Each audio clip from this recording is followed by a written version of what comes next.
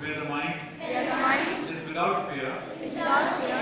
and the head is held high, and the head is held high, where knowledge is free, where knowledge is free, where the world where the world has not been broken up has not been broken up into fragments. into fragments, by narrow domestic walls, where non-domestic walls, where words come out where words come out from the depth of truth, where tireless striving stretches its arms towards perfection, where the clear stream of reason, stream of reason. Has not lost its way, lost its way. Into the dreary deserts, sand of dead habits, habits, where the mind, the mind is led by thee, into ever-widening thought and action, and action. Into that heaven of freedom.